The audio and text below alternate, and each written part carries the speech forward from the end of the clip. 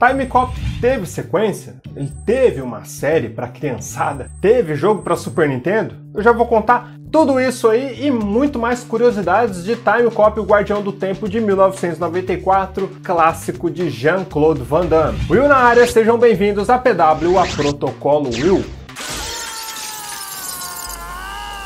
Time Cop é um filme que foi lançado em setembro de 94 e deu uma grana boa, né? Ele teve ali um orçamento de 27 milhões de dólares e o filme acabou ali se tornando o primeiro filme do Van Damme a ultrapassar a marca de 100 milhões de dólares, conseguindo aí 101 milhões de dólares em bilheteria. O outro filme aí que chegou perto dessa marca foi Street Fighter, que bateu na porta ali, com um pouco mais de 90 milhões de dólares, e teve também Soldado Universal, que conseguiu 95 milhões de dólares. Alguns sites dizem 100 milhões, mas isso foi corrigido para 95 milhões.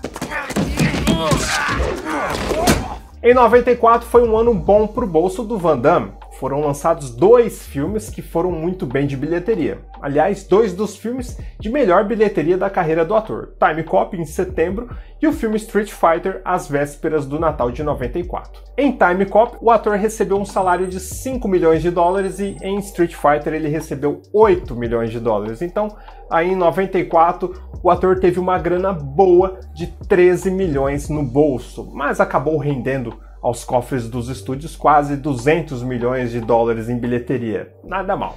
Quase todas as cenas do filme foram filmadas no Canadá entre o outono e o início do inverno de 93. Algumas outras cenas precisaram ser filmadas dentro de estúdios, que aí no caso nos estúdios que ficavam na Califórnia. Vou dar um exemplo aqui, por exemplo, as cenas que iniciavam as viagens no tempo e cenas no shopping. Peter Hyams fez três filmes com Van Damme, sendo eles este aqui, Time Cop.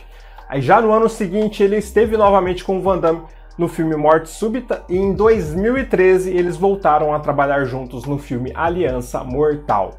Time Cop ainda teve a presença de Sam Raimi na produção do filme, que muitos conhecem aí dos filmes do Homem-Aranha, Evil Dead, Xena e de Doutor Estranho no Multiverso da Loucura.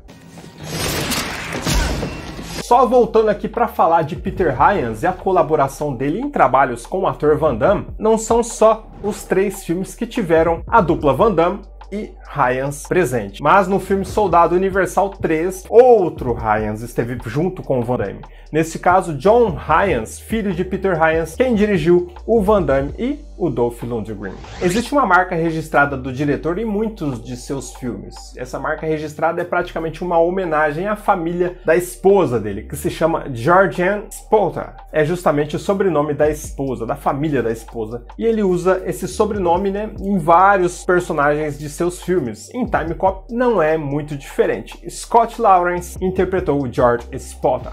Time Cop é uma adaptação dos quadrinhos da Dark Horse, de uma história ali dividida em três partes chamada O Homem Sem Tempo, que foram lançadas ali em agosto, setembro e outubro de 1992. Essa HQ ela foi desenvolvida por Mike Richardson, mas os quadrinhos tiveram a escrita ali de Mark Verheiden e desenhos de Ron Randall. Tanto Mark, o criador de tudo ali, quanto Mike, que deu uma caprichada no roteiro, eles foram chamados para fazer o roteiro da adaptação para os cinemas, mas isso não quer dizer que seria a mesma história.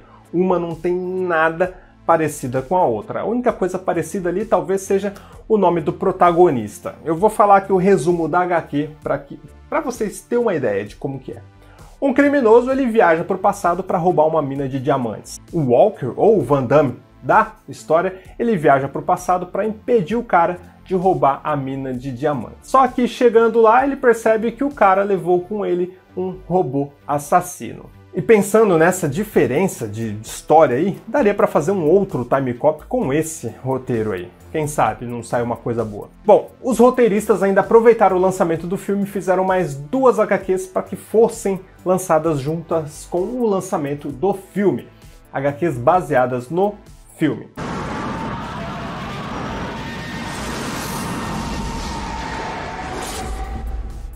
E tivemos sequência? Tivemos sequência. Ela foi lançada diretamente em DVD em 2013 e no restante do mundo em 2004. Não lembro se aqui no Brasil, nesse período de 2003 e 2004, se ela chegou mesmo, não sei qual período, se foi em 2003 ou 2004. Time Cop 2 tem o ator Jason Scott ali na vanguarda do elenco. Eu não assisti ao filme, mas muita gente acha que este filme com Jason Scott Lee é melhor que o primeiro filme com Van Damme. Se alguém assistiu aí, é só me falar nos comentários, deixa aí no comentário, quem sabe eu assisto e não faço um vídeo. E tivemos jogo de Time Cop? Tivemos jogo. Um jogo lançado para Super Nintendo pela Cryo Interactive, que saiu em 1995 e conta com uma história vagamente baseada no primeiro filme. Muitos conseguem associar como se fosse uma sequência do roteiro. Eu não sei. Sobre os gráficos do jogo, são aqueles gráficos clássicos que a gente é, se acostumou a ver, né? Gráficos digitalizados ali meio realistas. Não é nenhuma maravilha de jogo, mas vale jogar um pouco assim de vez em quando. Time Cop expandiu a franquia para TV também onde ganhou uma série com o mesmo nome em 1997 na ABC. Foram encomendados 13 episódios para a série, mas apenas 9 episódios foram produzidos. O roteirista Mark Verheiden disse que o grande problema da série ter sido cancelada foram os problemas com a classificação etária, simplesmente porque a série precisava ir ao ar às 20 horas e por isso eles não poderiam fazer algo mais sombrio, precisou ser algo mais adequado para as crianças. Então pensem aí em um time cop para a criançada ficar feliz da vida. Há uma coisa muito legal que rolou no filme, eu acho que pouca gente pegou essa, mas quando o Van Damme tá indo ali pro futuro, ele tira um chiclete da marca Black Black que é de uma marca japonesa. No mesmo ano, o ator participou de uma série de comerciais de TV para a marca Black Black no Japão. Então foi um marketing esperto, com certeza encomendado ali durante as gravações do filme e lançados na hora certa, né, na hora do lançamento do filme. E vocês consideram Time Cop um dos três melhores filmes do ator Jean-Claude Van Damme? Deixem seu comentário aí junto com seu like se gostou desse vídeo e já vê aí se é inscrito, eu tenho certeza que você precisa acompanhar o canal se você gosta de curiosidades e listas de filmes e séries. Dois vídeos na semana, eu tô pensando em aumentar isso aí para três, mas tá difícil, hein? Tá faltando é tempo. Mas é um canal que agrega conteúdo e muita informação. Um grande abraço a vocês, cuidem-se muito bem e tchau!